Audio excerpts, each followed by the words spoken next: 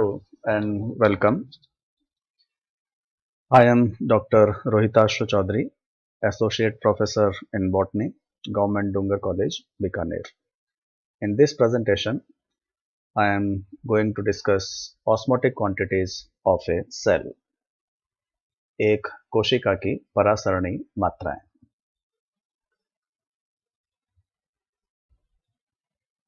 osmotic pressure, turgor pressure and DPD that is, diffusion pressure deficit, are known as osmotic quantities of a cell. परासरण दाब स्फीत दाब और विसरण दाब न्यूनता को एक कोशिका की परासरणी मात्राएँ कहा जाता है। सर्वप्रथम ऑस्मोटिक प्रेशर परासरण दाब इसके बारे में हम पूर्व में एक प्रस्तुतिकरण में विस्तार से चर्चा कर चुके हैं। संक्षेप में पुनः यदि परासरण दाब के बारे में बात करें तो सारांश रूप में हम ये कह सकते हैं it is proportional to concentration of solutes in a cell यह किसी कोशिका में विलय पदार्थों की सांद्रता के समानुपाती होता है। अर्थात जितना किसी कोशिका में विलय पदार्थ की सांद्रता अधिक होती है, उतना ही परासरण दाब का मान भी अधिक होता है। यदि विलय पदार्थ की सांद्रता कम होती है तो परासरण दाब का मान भी कम होता है। And the water molecules move from an area of low osmotic pressure towards high osmotic pressure और जल के अणुओं की गति की यदि हम बात करें तो जल के अणुओं का प्रवाह या अभिगमन हमेशा एक कम परासरण दाब वाले विलयन से अधिक परासरण दाब वाले विलयन की ओर होता है। ऑस्मोटिक क्वांटिटीज में दूसरी ऑस्मोटिक क्वांटिटी टर्गर प्रेशर या स्फीत दाब होता है। एक पादप कोशिका में जीव द्रव्य एक दृढ़ कोशिका भित्ति के द्वारा आवरित रहता है। In a plant cell protoplasm is enveloped by a rigid cell wall and the real hydrostatic pressure exerted by protoplasm on the cell wall is known as Turgor pressure. जीव द्रव्य के द्वारा इस कोशिका भित्ति पर जो वास्तविक जल स्थितिक दाब लगता है इसी दाब को स्फीत दाब या टर्गर प्रेशर कहा जाता है The cell is called flaccid when protoplasm is not exerting any pressure on cell wall. जब जीव द्रव्य कोशिका भित्ति पर किसी भी प्रकार का दाब नहीं लगा रहा होता है तो ऐसी कोशिका को एक श्लथ कोशिका या फ्लैसिड सेल कहा जाता है। या हम ये कह सकते हैं कि ऐसी कोशिका में स्फीत दाब का मान शून्य होता है। Value of turgor pressure in a flaccid cell is zero because protoplasm of the cell is not exerting any pressure on the cell wall. When a flaccid cell is placed in a hypotonic solution, for example pure water, water enters into cell by endosmosis because of high osmotic pressure of the cell set and turgor pressure builds up in the cell. तो यदि हम एक श्लथ कोशिका को एक अल्प परासरी विलयन में रखते हैं अल्प परासरी विलयन उदाहरण के लिए शुद्ध जल जिसमें कोई भी विलय पदार्थ उपस्थित नहीं है, केवल शुद्ध जल है। तो यदि एक श्लथ कोशिका को शुद्ध जल में, अर्थात अल्प परासरी विलयन में रखते हैं तो चूँकि कोशिका के सेल सेप में, कोशिका रस में गुलित विलय पदार्थ उपस्थित रहते हैं dissolved solutes are present therefore osmotic pressure of cell sap is always higher than pure water जो कोशिका का कोशिका रस होगा, उसमें परासरण दाब का मान शुद्ध जल की तुलना में हमेशा अधिक होगा। और इस कारण से शुद्ध जल बाहर से अंत परासरण की क्रिया के द्वारा कोशिका के भीतर प्रवेश करता है। और जब जल कोशिका के भीतर प्रवेश करेगा तो कोशिका द्रव्य का या जीव द्रव्य का, कोशिका रस का आयतन बढ़ेगा। इसके आयतन में वृद्धि होगी वॉल्यूम ऑफ़ प्रोटोप्लाज्म और cytoplasm will increase and as a result of this increase in volume of cytoplasm, turgor pressure will start building up in the cell.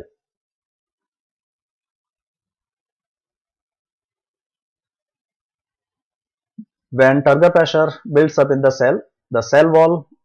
also exerts an equal pressure on protoplasm in opposite direction. This pressure is known as wall pressure and represented as WP. जब किसी भी कोशिका में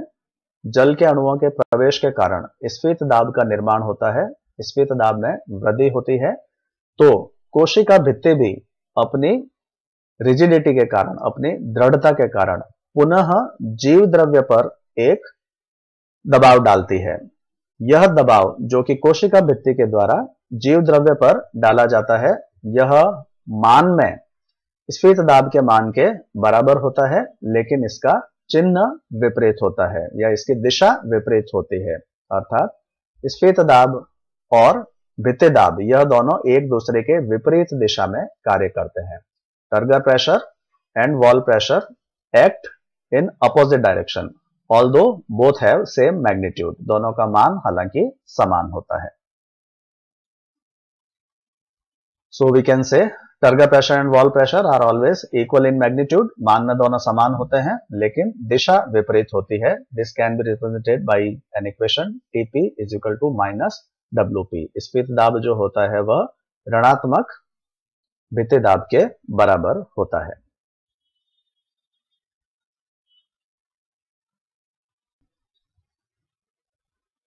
अब चूँकि भित्ति दाब जीव द्रव्य पर कार्य करता है तो भित्ति दाब के कारण कोशिका में जो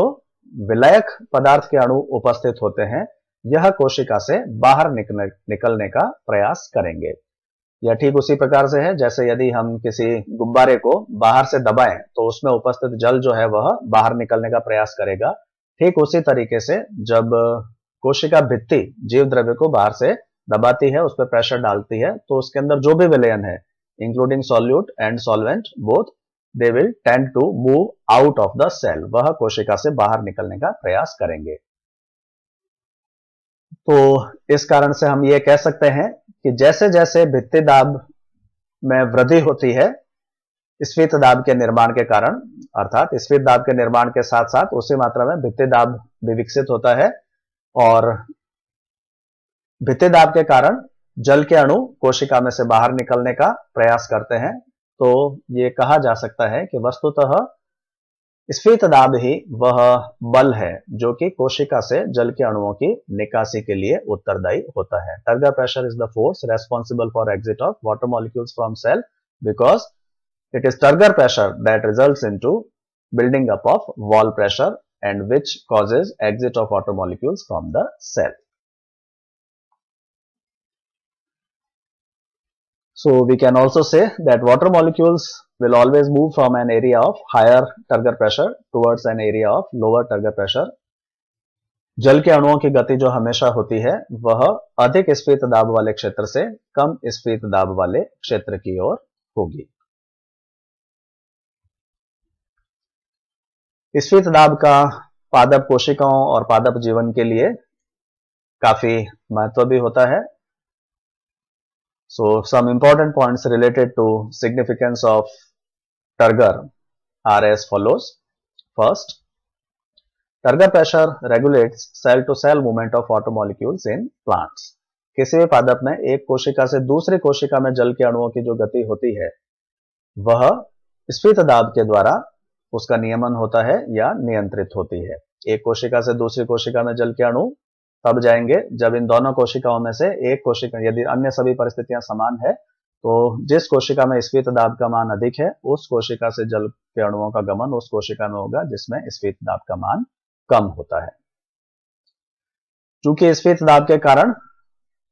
कोशिका द्रव्य के आयतन में वृद्धि होती है, अतः कोशिकाओं का जो विस्तारित स्वरूप है, वह भी वस्तुतः स्फीत दाब के द्वारा ही उसका नियमन किया जाता है। और इसी स्फीत दाब के कारण पर्ण भी अपनी आकृति बनाए रखती है और जो शाकीय तने होते हैं शाकीय तने भी ऊर्ध्व स्थिति में, तने में उपस्थित कोशिकाओं के अंदर उपस्थित स्फीत दाब के कारण ही रह पाते हैं। यदि किसी कोशिका में या कोशिकाओं में से स्फीत की हानि होती है its turgor is lost then cells will become flaccid कोशिकाएँ स्लथ हो जाती हैं और इनके स्लथ होने पर जो पर्ण है, वह मुरझान प्रदर्शित करती है। The leaves show signs of wilting when cells of the leaves lose turgidity and some type of plant movements are also controlled by turgidity of the cells कोशिकाओं के स्फीत के द्वारा पादपों में कुछ गतियों का नियमन या नियंत्रण भी होता है। उदाहरण के लिए इस प्रकार की गतियाँ स्फीत गतियाँ कहलाती है या टर्गर मूवमेंट्स कहलाती है। Now, third osmotic quantity after osmotic pressure and turgor pressure is diffusion pressure deficit. परासरण दाब और स्फीत दाब के पश्चात जो तीसरी परासरणी मात्रा है ऑस्मोटिक क्वांटिटी है वह है विसरण दाब न्यूनता जिसे संक्षेप में डीपीडी कहा जाता है। विसरण दाब न्यूनता को ही चूषण दाब भी कहा जाता है। This is also known as suction pressure it is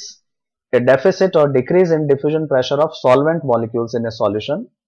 compared to diffusion pressure of water molecules in pure water at same temperature and atmospheric pressure.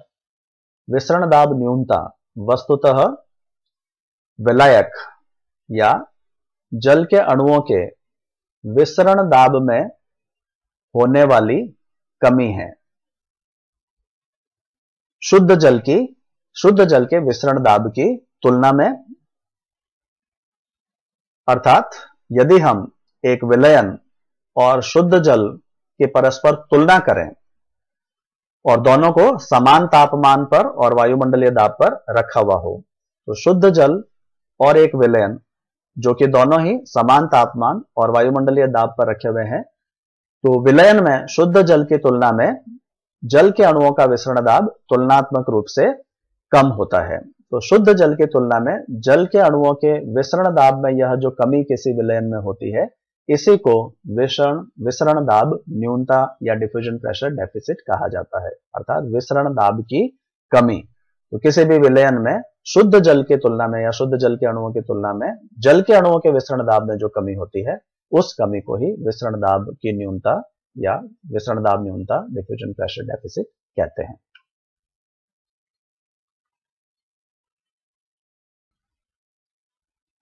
तो यद्यपि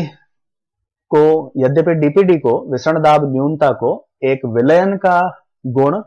कहा जाता है या बोला जाता है, लेकिन वस्तुतः यह किसी भी विलयन में विलायक के अणुओं का गुण है।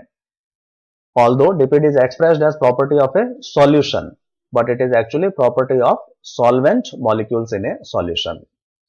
यद्यपि इसको विलयन का गुण कहा जाता है, लेकिन वास्तव में यह विलयन का गुण नहीं है। उस विलयन में जो जल के अणु उपस्थित हैं, यह उन जल के अणुओं का गुण है, जिसे विसरण दाब न्यूनता के रूप में अभिव्यक्त किया जाता है।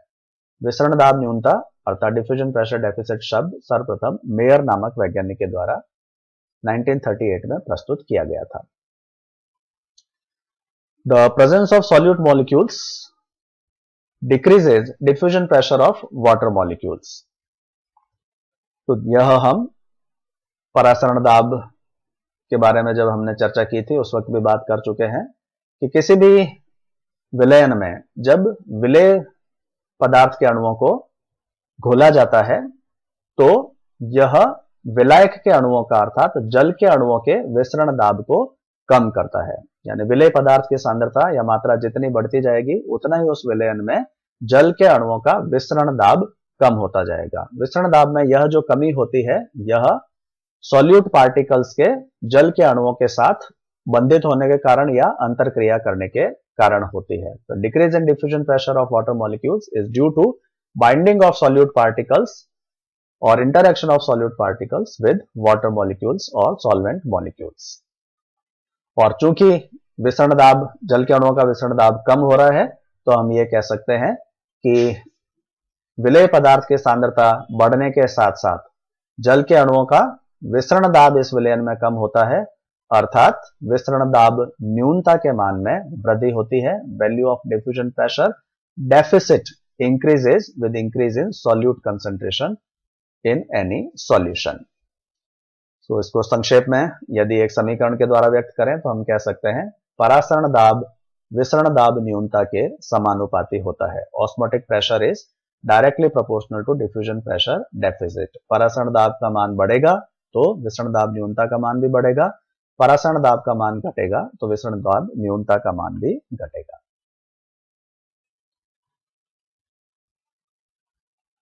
वायुमंडलीय दाब पर शुद्ध जल की विसरण दाब न्यूनता और परासरण दाब दोनों का ही मान शून्य होता है.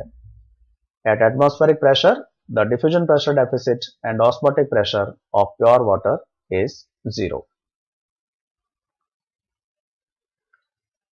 atmospheric pressure पर दाब का मान शून्य माना जाता है। सो so, प्रेशर की वैल्यू जो होगी वो ज़ीरो होगी और साथ ही साथ चूँकि कोई विलय पदार्थ जल में उपस्थित नहीं है तो विलय पदार्थ जल में अनुपस्थित होने पर विलय पदार्थ की सांद्रता शून्य होने पर परासरण दाब का मान भी शून्य होगा और जब परासरण दाब का मान शून्य होगा तो उस विलयन की विसरण दाब न्यूनता का मान भी शून्य होता है। Since turgor pressure is real pressure of the cell sap the existence of turgor pressure increases diffusion pressure of water molecules in a cell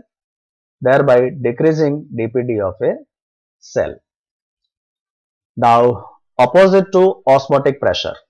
osmotic pressure तो विलयक के अणुओं के विसरण दाब को कम करता है। इसके विपरीत जो स्फीत दाब है, वह किसी भी विलयन में या कोशिका रस में। स्फीत दाब के मान में जैसे जैसे वृद्धि होगी, वह विलायक के अणुओं के विसरण दाब के मान को भी बढ़ेगा because it is a real pressure तो चूँकि वास्तविक दाब है तो जैसे जैसे दाब बढ़ेगा तो वैसे वैसे विलयन में जो भी घटक उपस्थित है, जो भी कंपोनेंट्स उपस्थित है, चाहे वो सॉल्यूट हो, चाहे वो सॉल्वेंट हो, उन सभी का विसरण दाब बढ़ेगा। तो जैसे जैसे स्फीत दाब बढ़ेगा, विलायक के अणुओं का विसरण दाब या डिफ्यूजन प्रेशर भी बढ़ेगा। और जब विलायक अणुओं का डिफ्यूजन प्रेशर बढ़ेगा तो डिफ्यूजन प्रेशर डेफिसिट विसरण दाब न्यूनता के मान में कमी आएगी। तो इस, यहाँ पर हम ये कह सकते हैं कि परासरण दाब और स्फीत दाब दोनों एक दूसरे के विपरीत बल के रूप में कार्य करते हैं। Osmotic pressure and turgor pressure act opposite act as opposite forces in a solution जो परासरण दाब है, वह विसरण दाब को विलायक के अणुओं के विसरण दाब को कम करता है, अतः विसरण दाब न्यूनता के मान को बढ़ाता है। जबकि स्फीत दाब विलायक के अणुओं के विसरण दाब के मान को बढ़ाता है, अतः वह विसरण दाब न्यूनता के मान को कम करता है डिफ्यूजन प्रेशर डेफिसिट को कम करता है। So whereas osmotic pressure was directly proportional to DPD turgor pressure is inversely proportional to DPD OP बढ़ेगा तो डीपी डीबी बढ़ेगा, लेकिन स्फीत दाब बढ़ेगा तो डीपीडी का मान कम होगा। और इसके विपरीत, यदि ओपी कम होगा तो डीपीडी का मान भी कम होगा, और यदि टर्गर प्रेशर कम होगा, स्पीड दाब का मान कम होगा तो डीपीडी का मान बढ़ेगा विषण दाब न्यूनता के मान में वृद्धि होगी।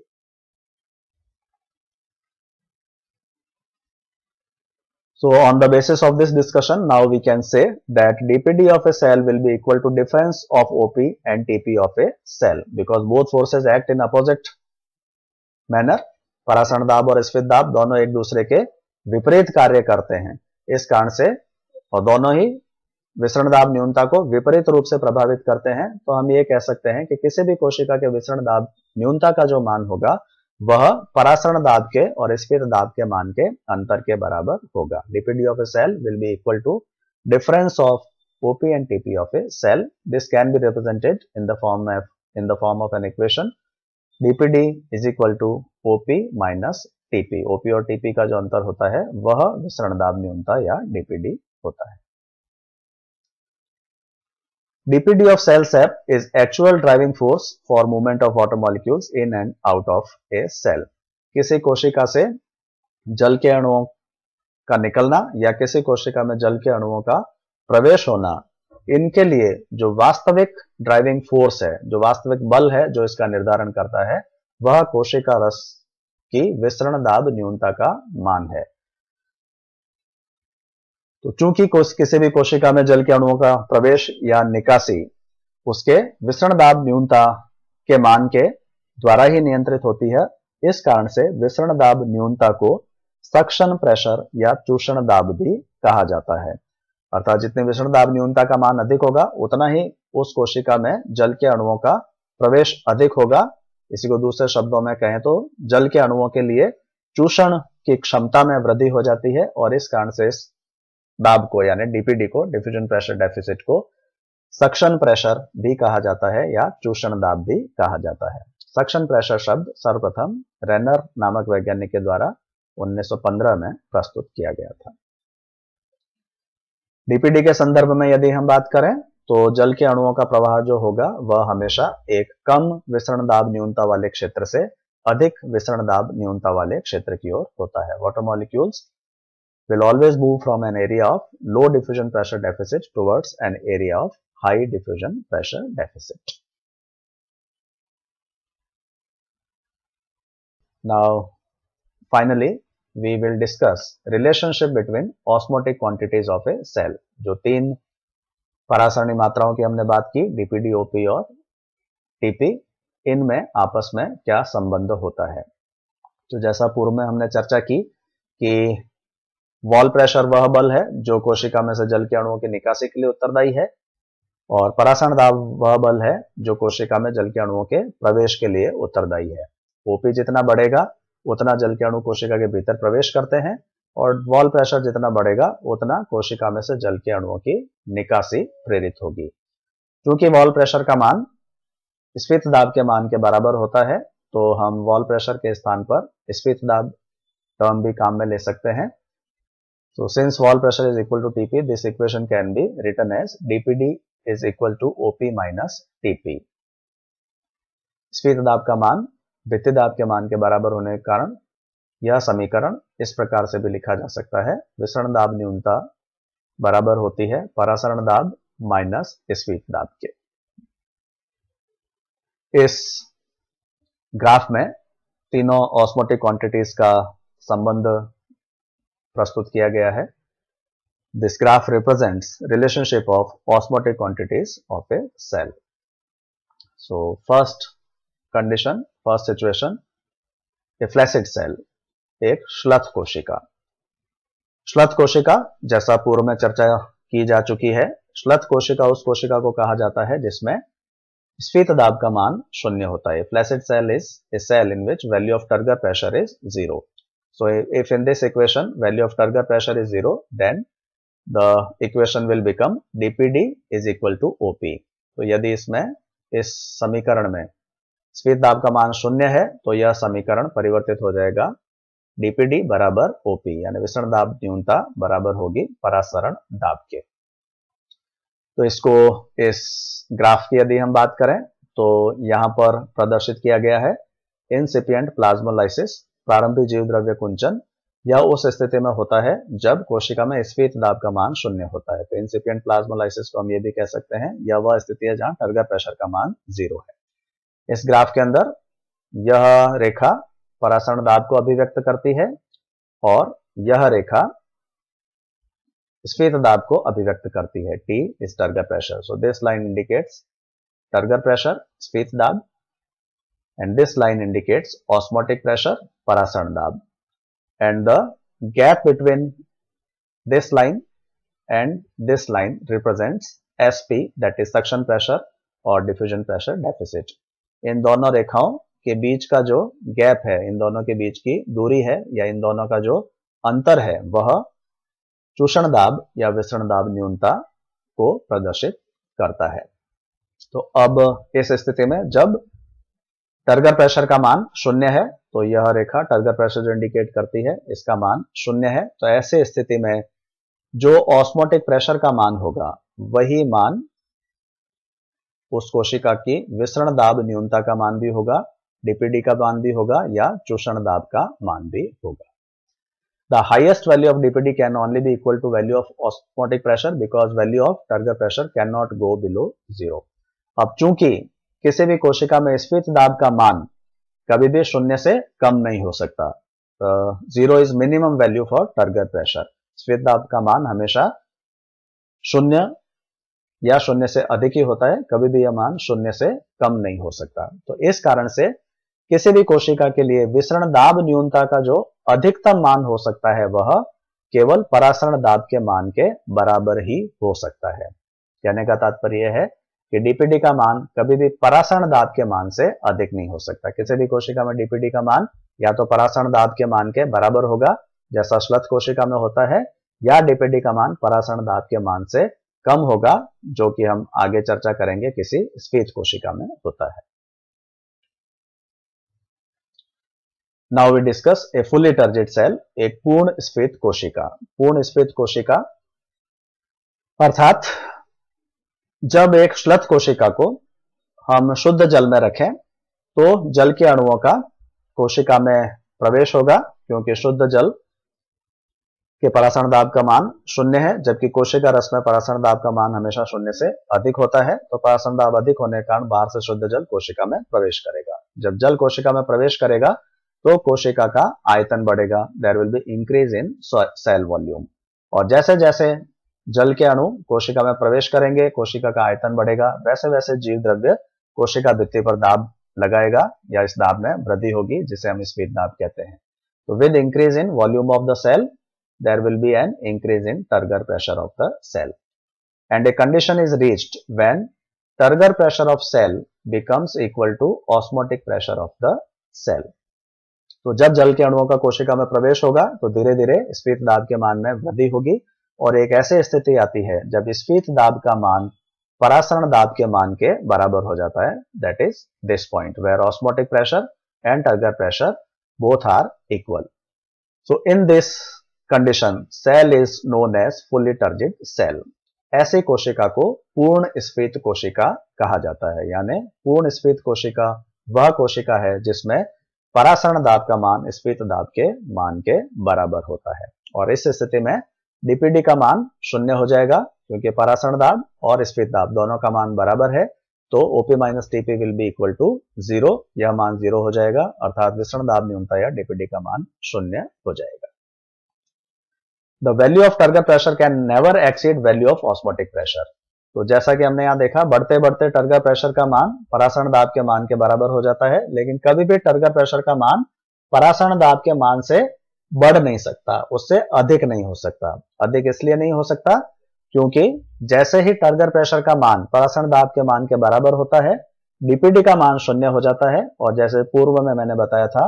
डीपीडी ही वह ड्राइविंग फोर्स है जिसके कारण जल के अणु किसी कोशिका में प्रवेश करते हैं। तो डीपीडी का यदि कोई धनात्मक मान रहेगा तो कोशिका में जल के अणुओं का प्रवेश हो सकता है, लेकिन जब डीपीडी का मान शून्य हो जाएगा, यानी ड्राइविंग फोर्स का मान शून्य हो जाएगा। वह ड्राइविंग फोर्स जो कि जल के अणुओं को कोशिका में प्रवेश करवाती है तो ऐसे स्थिति में अब जल के अणुओं का प्रवेश कोशिका में बंद हो जाएगा और चूँकि स्पेस दाब में वृद्धि जल के अणुओं के प्रवेश के कारण ही होती है तो अब यदि और जल के अणु कोशिका में प्रवेश नहीं करेंगे तो स्फीत दाब के मान में भी और वृद्धि नहीं हो सकती।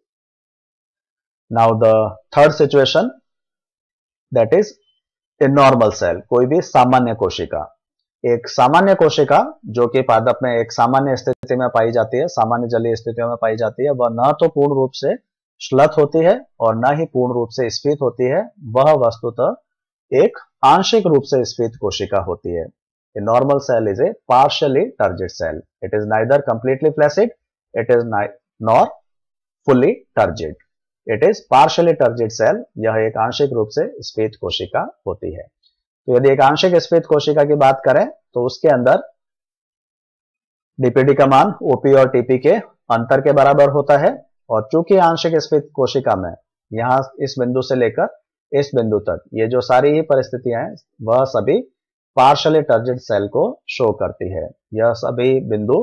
एक आंशिक रूप से स्फीत कोशिका को प्रदर्शित करते हैं। तो कहीं पर भी यदि हम